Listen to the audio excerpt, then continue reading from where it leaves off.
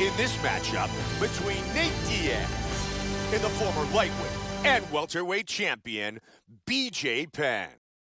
Our tale of the tape for this lightweight fight. Diaz is 30, Penn is 32. Diaz will have a six-inch reach advantage.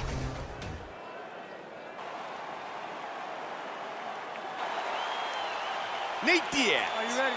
BJ Penn. And here we go. Three-round fight. White trunks for Penn. Black trunks for Diaz. Nate Diaz is very much like his older brother Nick when you talk about the persona that they bring in and out of the octagon from the tough streets of Stockton. Well, both are quite colorful characters with uh, very rich and expressive languages. These guys are going at it here right away, trading blows. He's landing some excellent kicks here.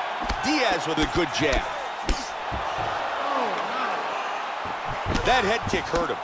Counter got clipped. He landed a couple good shots here. Oh! Solid straight left. Vicious, vicious punch combinations here. I like that, Mike. I like how he's mixing it up. Hard straight punch. He connects with the left. Oh! What an exchange! Strong Look at this. Oh, he's definitely hurt now. That was a big shot. Trouble, Mike. Oh, he's landing. Vicious shot to the body. Oh, he's landed some good shots here. Oh, and another one. That hurt him. Oh!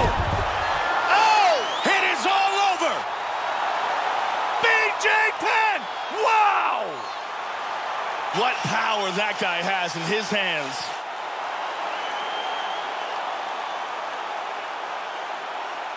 Once again, here's our fight replay. Let's take a look at the replay. Here is the big right hand that ends this fight. Boom, right on the money. Let's take a look at it again from a different angle.